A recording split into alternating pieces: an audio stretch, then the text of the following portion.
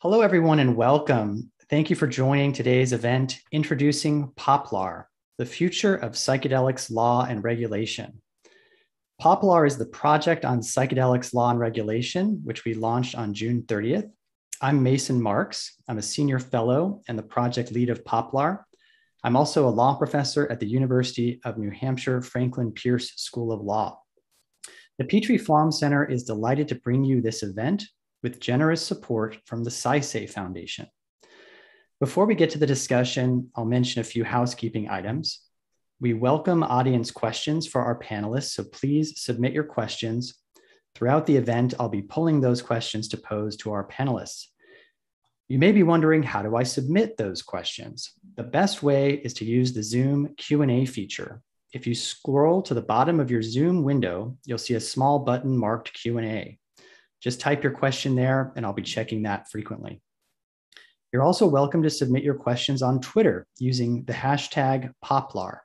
That's hashtag P O P L A R. If you do submit a question there, Petrie Flom staff will be monitoring it and they'll pull it into the Zoom Q&A feature. Ways that you should not try to submit a question include the raise your hand feature on Zoom. We won't be using that today. We've also turned off the chat function so that our panelists can really focus in on the discussion. If you're interested in this event and others like it on health policy, bioethics, biotechnology, and related topics, we encourage you to sign up for the Petrie Flom Center newsletter and to read our blog, The Bill of Health, which features cutting edge commentary by legal scholars. I want to thank the Poplar team, especially Laura Chong and Chloe Reichel, for making this event possible.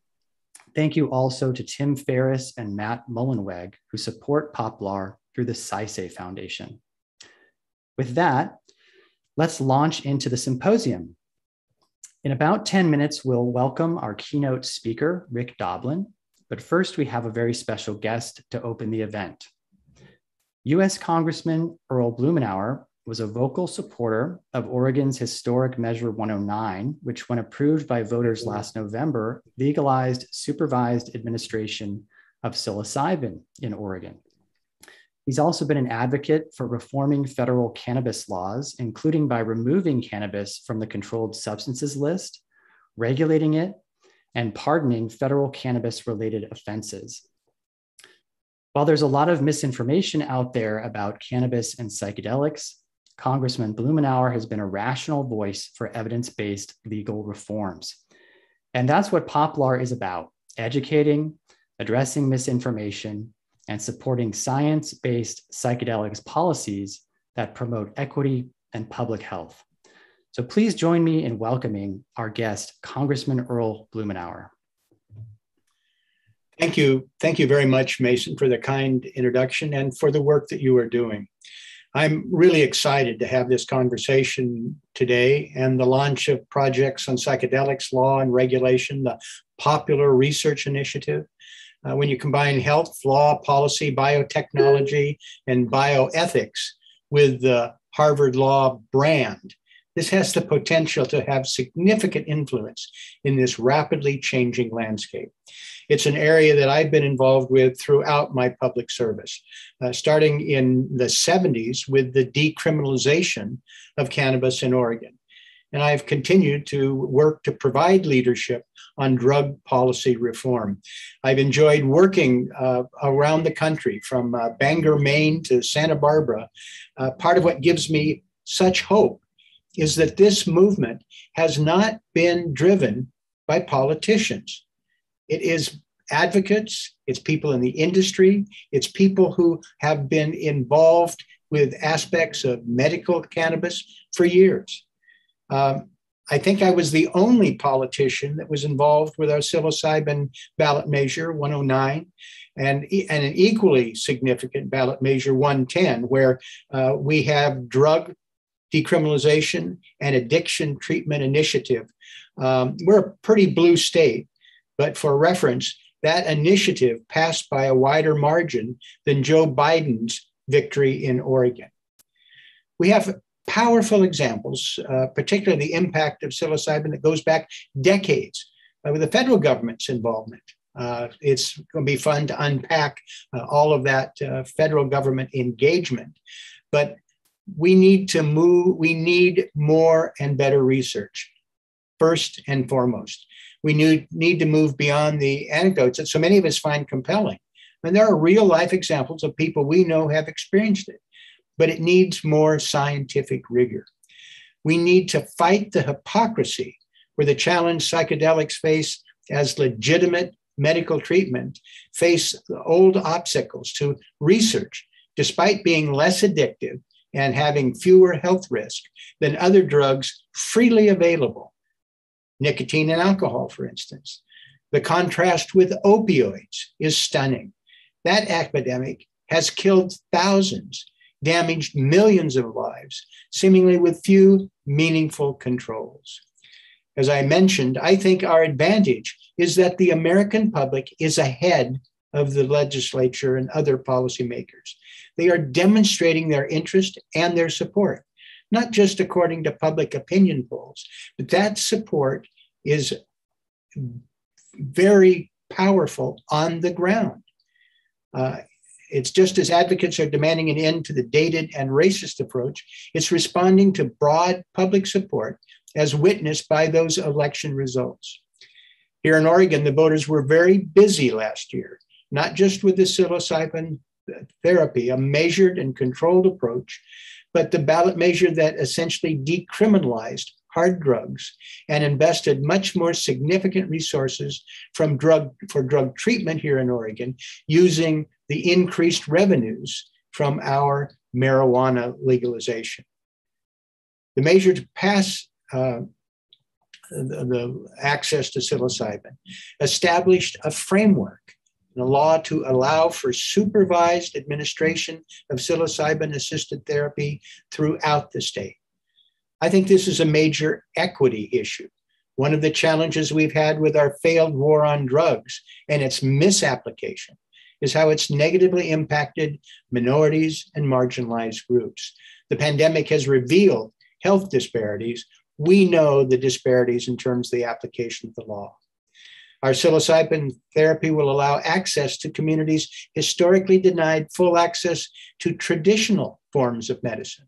This is especially important for low income communities of color, veterans, especially veterans who've tried and failed to receive relief, for example, PTSD, uh, from other forms of treatment.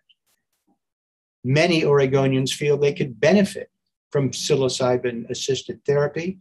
It is an issue of equity, it's an issue of expanding the toolkit, it's expanding, responding to science and the public needs. I'm particularly interested in the potential to unlock revolutionary treatments on mood, anxiety, and substance abuse disorders. And this could not come at a more important time. The pandemic not only heightened the disparities in the treatment of healthcare, but it's had a dramatic impact on the mental and emotional health of Americans. Over two in five adults show symptoms of anxiety or depressive disorders. Here in Oregon, we've seen a major increase in overdose deaths. As we struggle to get through the COVID pandemic, we've got a mental health epidemic where it's clear our approaches have not been adequate. I hope our conversation today in the Poplar Center will help us address critical issues, ensuring equitable access for marginalized communities, and as I mentioned, especially veterans. We want to provide robust funding for additional therapeutic research. And I look forward to suggestions for removing red tape and bureaucratic redundancies for drug development and therapy that has dogged us as we work to rationalize our cannabis policies. And I want to stress that I think it's very, very important to respect traditional and sacred use of psychedelics by Indigenous committees, communities. Native Americans must not be an afterthought. They have much to teach us, and we have much to respect in that tradition, which has been so abused uh, by the majority of American government. It's a, it's a tragic history. This is an important list of challenges. And I look forward to your conversation today, the work at the center, and for all of you helping us advance this cause.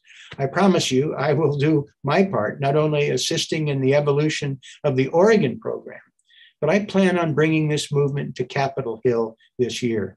The same way we developed a foundation for the support of our cannabis work. I want to and introduce the results of our work in Oregon and around the country. And I would like your center to be able to help raise awareness on Capitol Hill at this critical time in drug reform to help the federal government catch up to where the rest of America is. I think this is truly the opportunity of a lifeline, uh, and I look forward to working with you to make it a reality. Thank you very, very much. Thank you so much, Congressman, for your powerful remarks and for your leadership. We're very grateful for for you um, for you joining us today. My pleasure. We will now um, welcome our keynote speaker, Rick Doblin. He's the founder and executive director of MAPS, the Multidisciplinary Association for Psychedelic Studies. He founded MAPS in 1986, shortly after the Drug Enforcement Administration added the psychedelic MDMA to Schedule One of the Controlled Substances List. Since then, he's been a leading voice in the destigmatization of MDMA and other psychedelic therapies, working closely with the Food and Drug Administration to make MDMA assisted therapy an FDA approved treatment for post traumatic stress disorder. And thanks to his efforts and others at MAPS, that's nearly a reality. Rick is a graduate of Harvard's Kennedy School, and so it's a pleasure to welcome him home virtually to discuss his important work. Welcome, Rick Doblin. Uh, thank you very much. And, and thank you, Congressman Blumenauer. It was very inspiring to hear, hear your opening talk and how you want to take this further. So um, it's, it's just so exciting to, to be here with you today and to have this uh, topic being something that's being looked at in a careful way. So I'm going to talk about psychedelics from legal to illegal to medicines to legal again. Um, Stan Grof has talked about psychedelics are to the study of the mind, what the microscope is to biology and the telescope is to astronomy. Stan is the 90 years old now, uh, the leading LSD researcher. And we all know that the telescope at a time was very controversial. Galileo died under house arrest. Father Bruno, who espoused the uh, idea that the Earth wasn't the center of the universe, was burned at the stake by the church. So the telescope was extremely uh, controversial and dangerous for people to look at, look through. But now we just see it as a tool. And psychedelics are similarly tools, and they're not good or bad in and of themselves. It's how they're used. And so we, we hope that the psychedelics will be seen in this destigmatized way as uh, really uh, essential tools for understanding who we are as humans and to healing all sorts of different issues. Um, this is the MAPS logo as interpreted by Alex Grey, uh, an artist. The important thing here is that the hands are first, the humans, it's about therapy. The psychedelic background is background, and the human contact, the therapeutic use is the foreground. And so what we're talking about is psychedelic assisted psychotherapy. Um, this is a picture of uh, Timothy Leary and me in 1990. This was a conversation at a uh, MAPS benefit. And I had just asked him um, with all of his advice and all of his, his experience, you know, doing psychedelic research here at Harvard and also um, becoming a proponent, what advice did he have for me for trying to make psychedelics into medicines through the government? And his response was, fuck the government. I am so far past asking for permission for anything, but I'm glad you're doing it. And that's uh, where he held up my hand. So I felt like this was uh, not the passing the torch of cultural revolution, but passing the torch of sort of scientific research.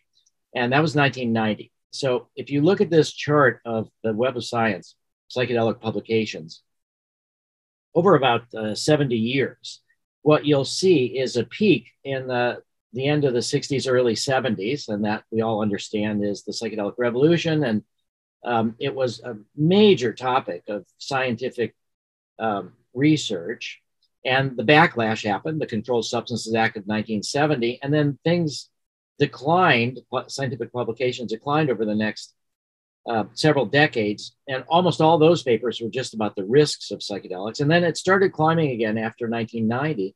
And that's when the group of people at the FDA who regulate psychedelics took over and uh, switched to a new group who wanted to open the door to research, which they did in 1990 with Rick Strassman doing a DMT study, negatively focused on um, schizophrenia, maybe DMT, the only endogenous psychedelic. Um, maybe too much of it caused schizophrenia. Then 1992, the FDA formally opened the door to psychedelic research. And you can see since then that that's rippled all over the world. And now we are really in the midst of the renaissance of psychedelic research. So this was just two years after uh, Timothy Leary uh, spoke to me there at the conference. Um, initially, this was all done by nonprofits.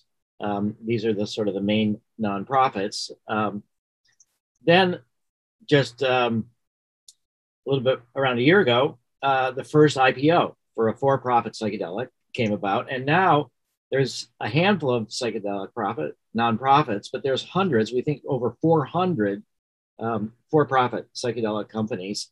This is just a list of some of them. Many of them traded on the stock markets, and so I think there are really no fundamental regulatory obstacles at this point for doing psychedelic research, and no fundamental financial obstacles, um, as evidenced by um, all these for-profit companies. Since MAPS was founded in 86, we've raised over 130 million in donations and grants for psychedelic therapy and medical marijuana research. But in the last two years, the for-profits have raised about one and a half billion dollars.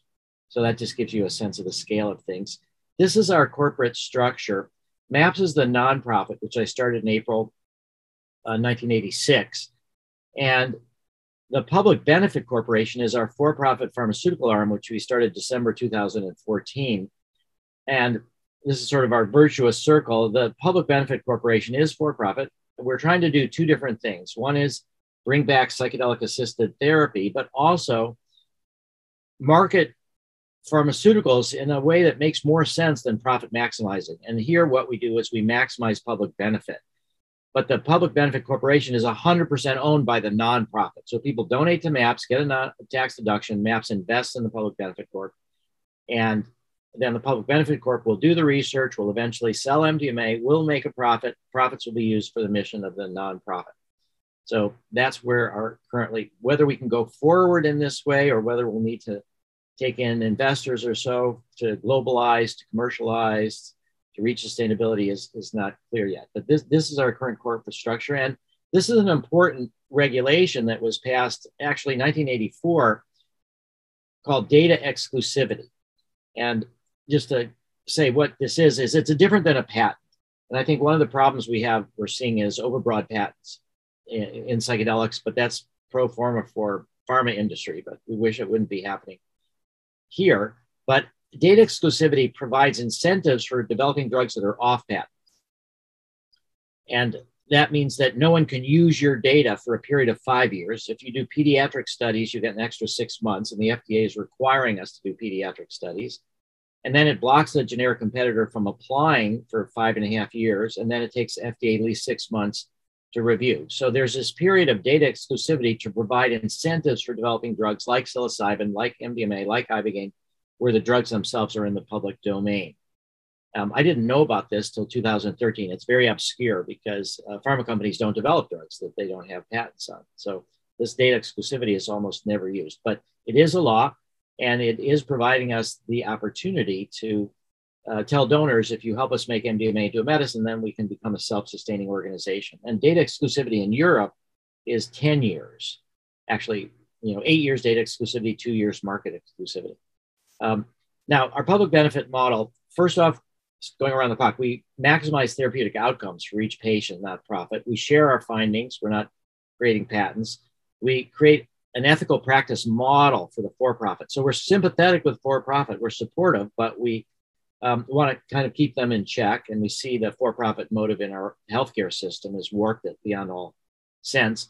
Um, we are very sympathetic with drug policy reform. And that's where I think we're different than a lot of for profit companies. And I think what they do is they misunderstand their business model. They think that if people have legal access to psychedelics, um, either through the Oregon Psilocybin Initiative or just through decriminalization or eventually legalization, that that will be bad for their business model. especially if we introduce harm reduction, psychedelic peer support, honest drug education, pure drugs, to educate the people to be sort of both um, psychedelic informed about how to handle it. I think it's actually going to create more people who want to go to psychedelic clinics with trained professionals covered by insurance.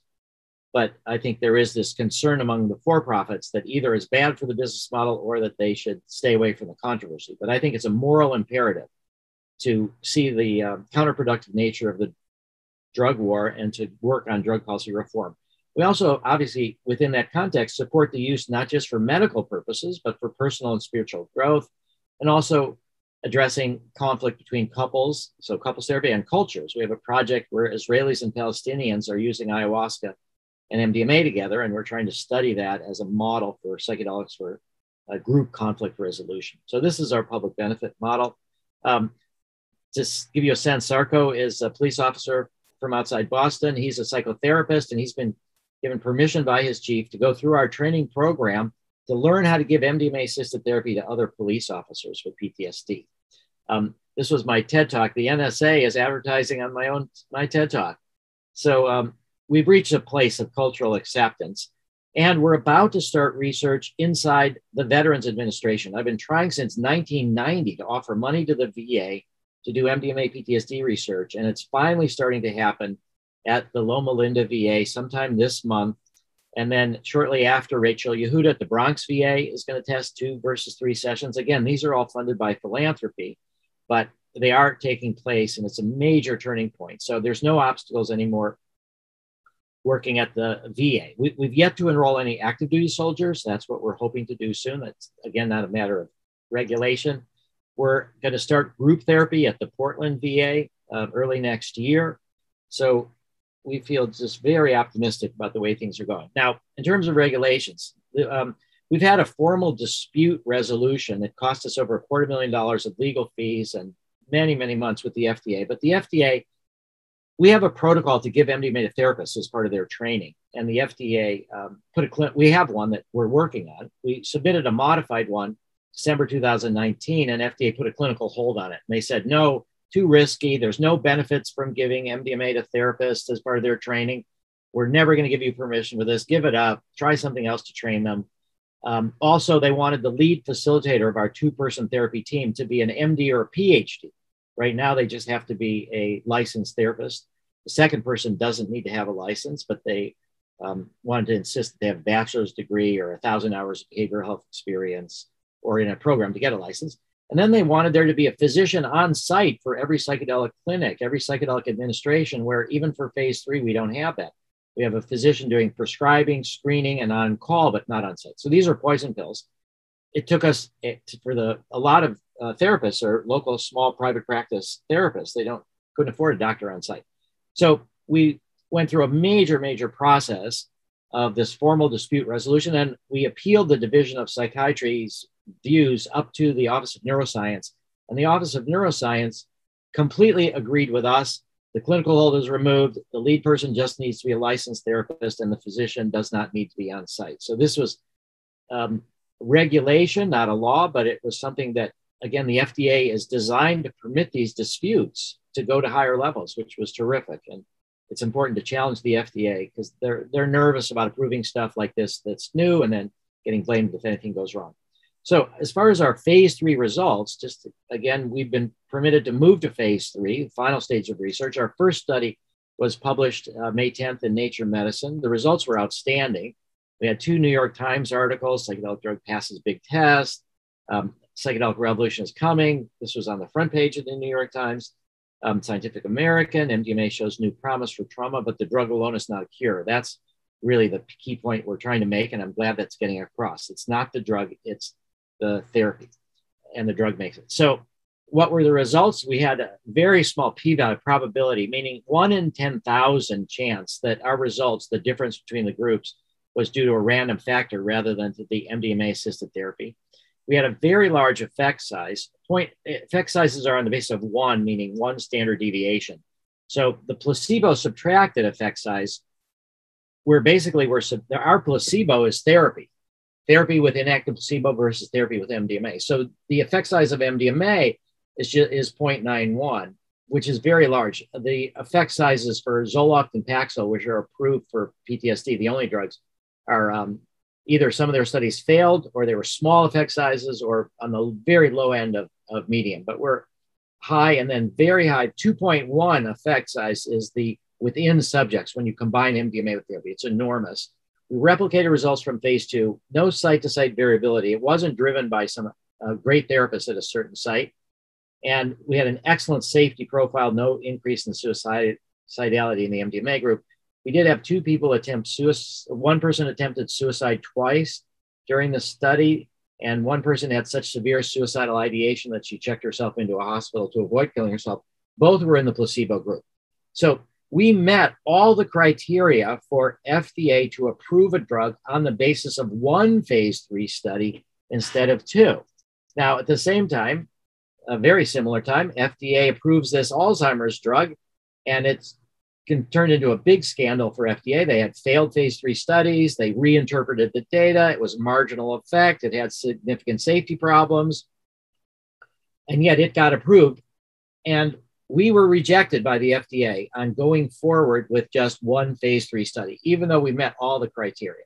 So there is this concern about the controversy, the stigma of psychedelics. There's a concern about FDA uh, regulators not wanting to be criticized if something goes wrong. But um, again, this is not a matter of law. It's just these are judgment calls that the FDA made. And so we are going to have to go through to the second phase three study. This is a complicated slide, but just to show that um, the upper is the studies that we require for the NDA, which is new drug approval. Um, and so um, we anticipate the second phase three study in um, May of 2022, we'll get the interim analysis, uh, an early read how it's doing, and then it, it'll be done in October of 2022. And then we analyze the data. If it's good, we submit it to FDA. And then we think by the end of the third quarter, um, FDA will approve, and now DEA will reschedule 90 days later. Now, that used to be a problem. DEA would delay and delay and delay, and there was no way to force them. But Congress rectified that a bunch of years ago, and they passed a law that said that DEA must reschedule within 90 days. They didn't say which schedule it goes in, but DEA and the FDA Office of Controlled Substances Act work on that together. But DEA must reschedule. So this was a, a key um, regulatory um, problem that regulation, that law has changed. So now we can say for sure that uh, DEA must reschedule within 90 days. Now, states have to reschedule as well and we will have a lot of work. 25 states automatically reschedule, and the others you have to do various things with their Department of Public Health or whatever they call it, commissioners of public health or board of pharmacies. So there will be a bunch of work once DEA and FDA approve and reschedule. Then we um, have a lot of work to do on the states, and we hope it'll end up being in Schedule Three or Schedule Four. I think that's likely. This is another matter of regulation. How is it going to be um, regulated post approval. So it's called the Risk Evaluation and Mitigation Strategies, the REMS. It's only prescribed by prescribers certified in the REMS program, means special education for prescribers. It's only going to be two to four hours about the health risks of MDMA. But the therapists who administer it only can be those that have been through our training program or our training program that we've licensed to schools of psychiatry and psychotherapy that has the content that we agree with. So only trained therapists and only special prescribers.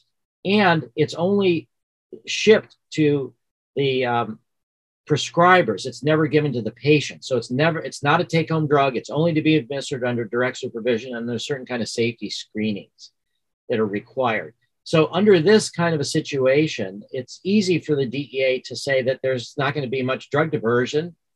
Patients never get it to take home. It's only under supervision and it's only trained people. So I think that this is what we're going to negotiate with the FDA. Again, this is a matter of regulation, not law. There will be these psychotherapy clinics. The, there'll be eventually, I think, over 6,000 of them in America.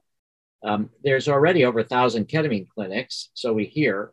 And also, these clinics, people are going to be want to cross trained. The therapists want to be cross trained in MDMA, psilocybin, ketamine, and whatever else gets approved. It's not going to be like here's an MDMA clinic, here's a psilocybin clinic. So I think uh, this is what it's going to look like. Um, this is our goal for during this period of data exclusivity to deliver 1 million MDMA sessions. Um, and we hope we think it'll be on average maybe a two session model, half a million patients.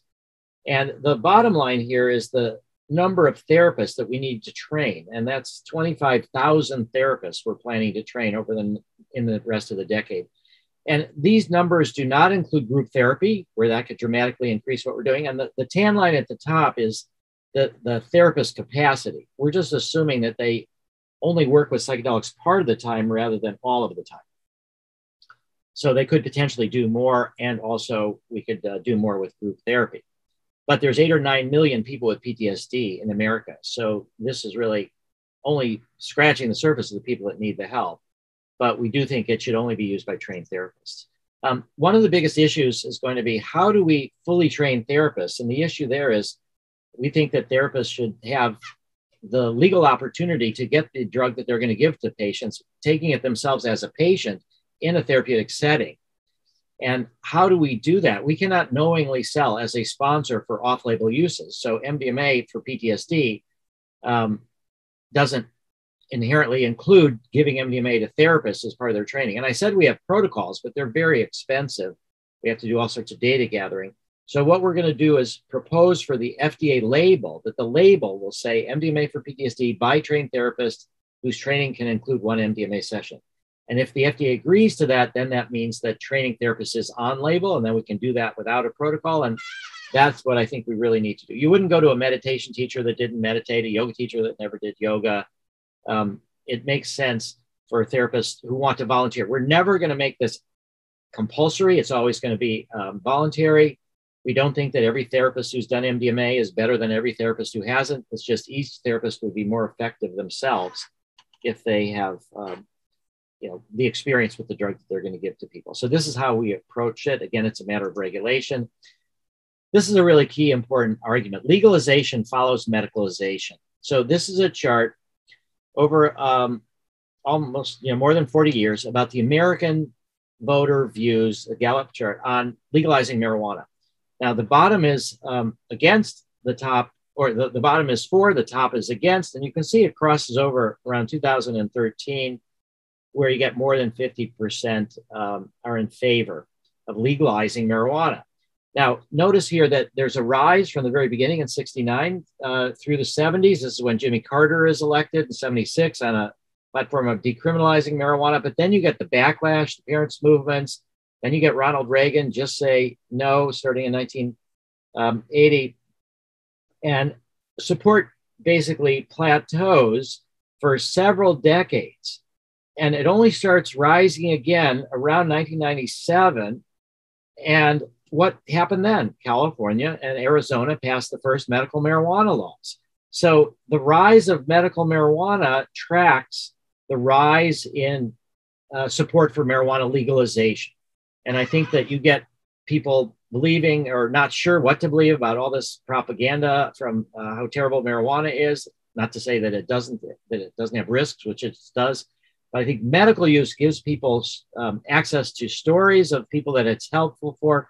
It changes their risk benefit analysis. And also, you see distribution models, the medical marijuana clinics that aren't surrounded by people with machine guns, it's not underground, and then you're making tax money. So, this is our uh, history for marijuana. I think it'll be similar with MDMA.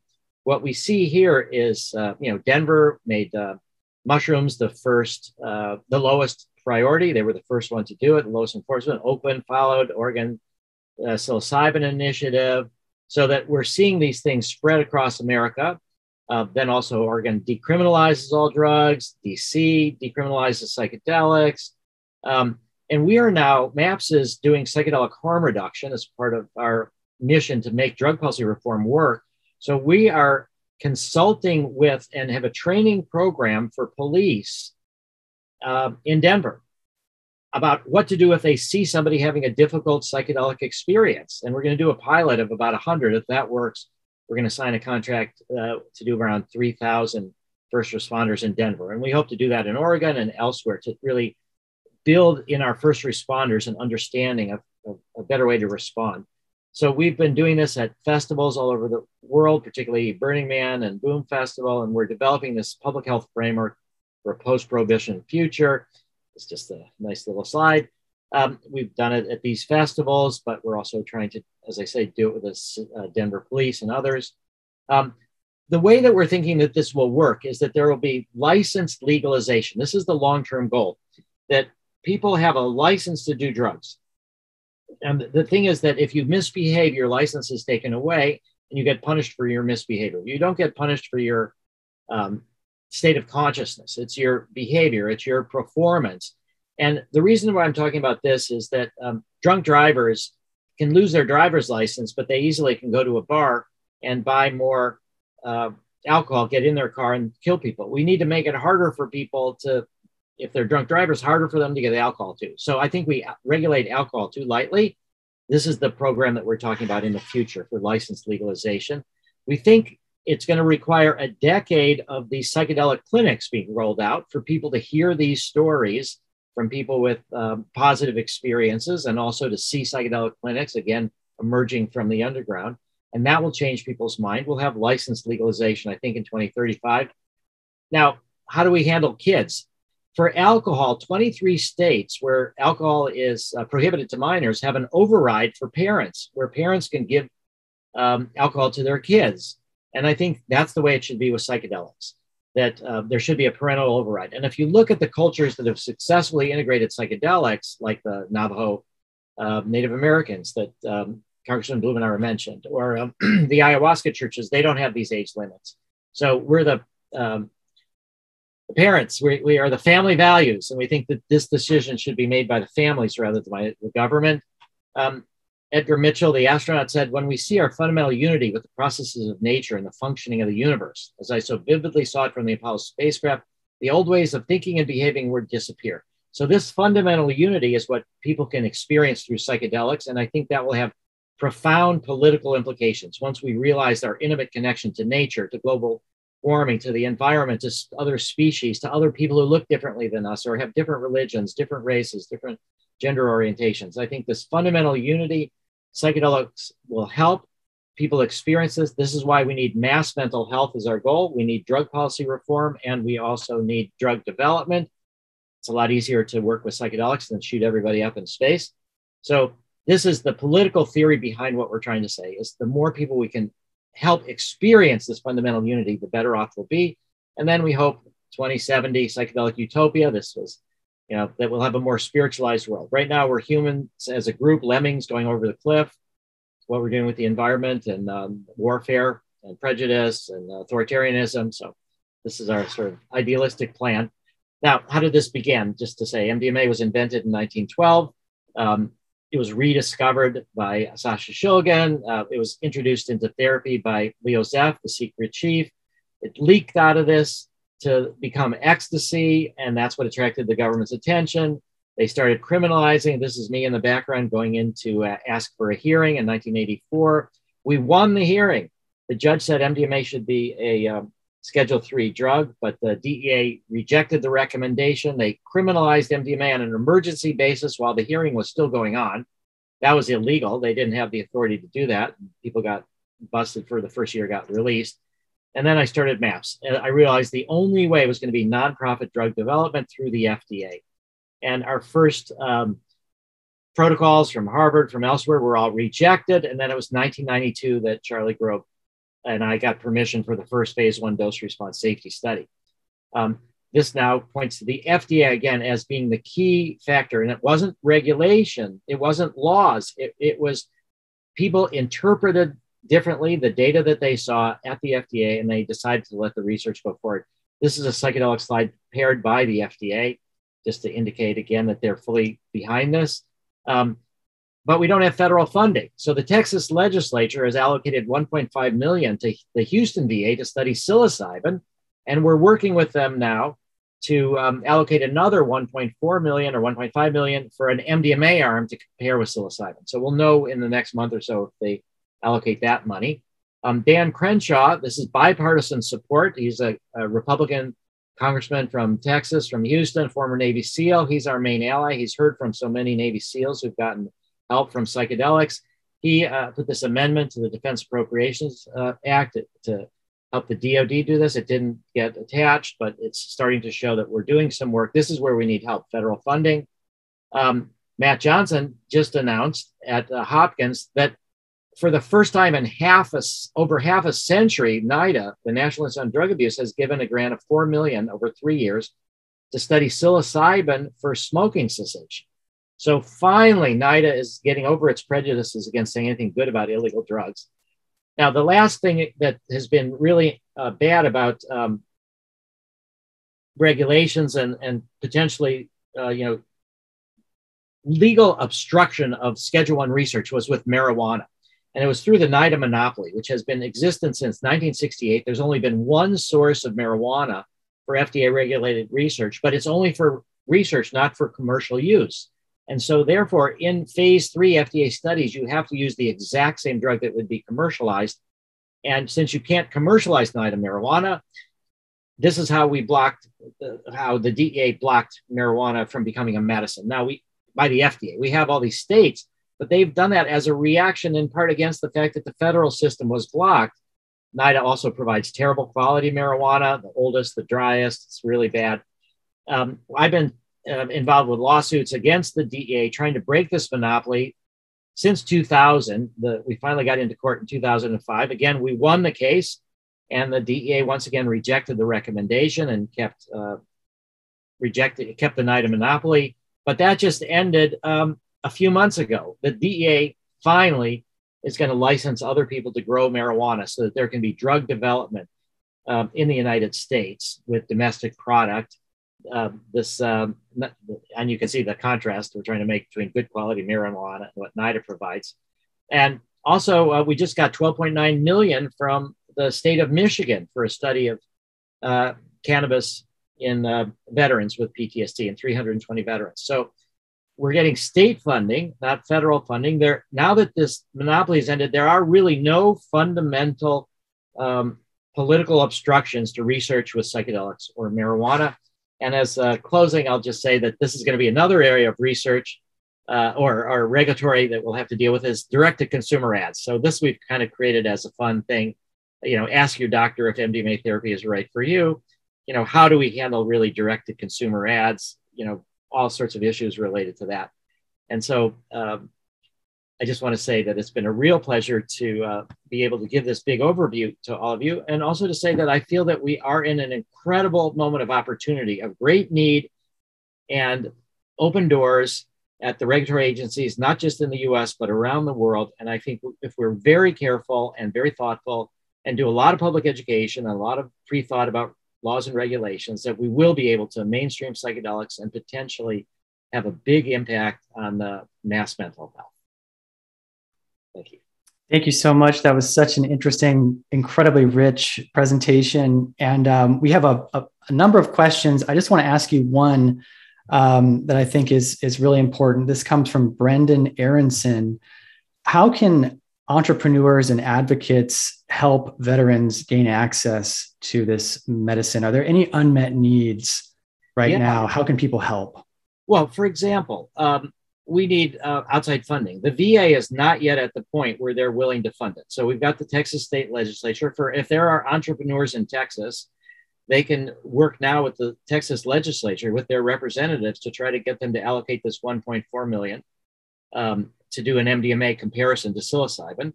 Also, um, wherever you happen to be located, contact your local VA and suggest that they get involved in this. There's a, a program called co- a, a program of therapy, cognitive behavioral conjoint therapy, which is conjoint as couples or dyads, where one has PTSD and the other is impacted, the, the partner is impacted. And we've done a small treatment development study where both of them get MDMA. And the results were better than anything with cognitive behavioral conjoint therapy without MDMA. And it's an accepted evidence based treatment used throughout the VA. So we're trying to raise uh, $2 million to start studies inside the VA so right now, entrepreneurs can engage the VA, they can donate to MAPS to, to help us do this, contact their representatives, and just say that um, we really need this. But I'd say that the critical thing is moving us into the Department of Defense to active duty soldiers on the theme of treating people closer to the trauma. The closer to the trauma, the easier it is. And that's the same idea of doing pediatric studies. So the FDA has said if we succeed in adults, we have to study 12 to 17 year olds.